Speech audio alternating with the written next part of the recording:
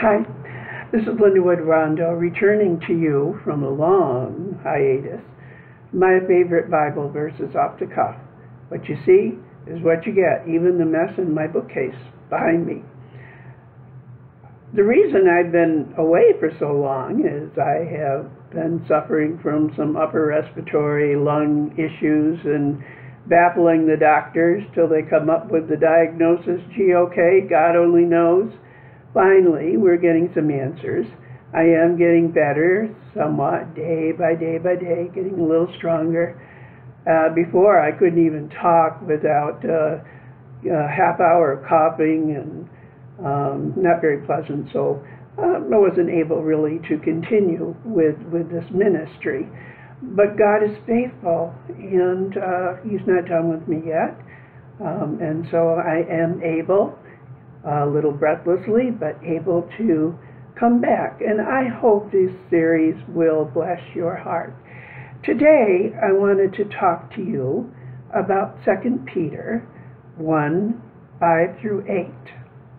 But also, for this very reason, giving all diligence, add to your faith virtue, to virtue knowledge, to knowledge self control, to self control perseverance to perseverance, godliness, to godliness, brotherly kindness, and to brotherly kindness, love.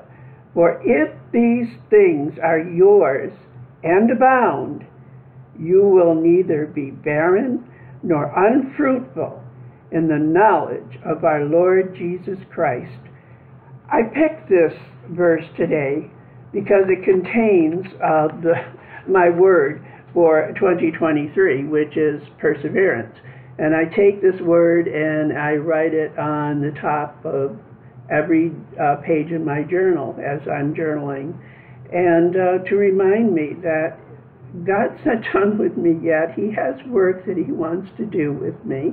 And so I persevere in my desire to be more like Him and my desire to gain in this knowledge and in these virtues and in brotherly love and in kindness so that I will be fruitful for Him.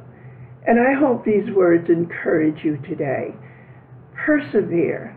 Don't give up. If God hasn't given up on you, don't give up on Him.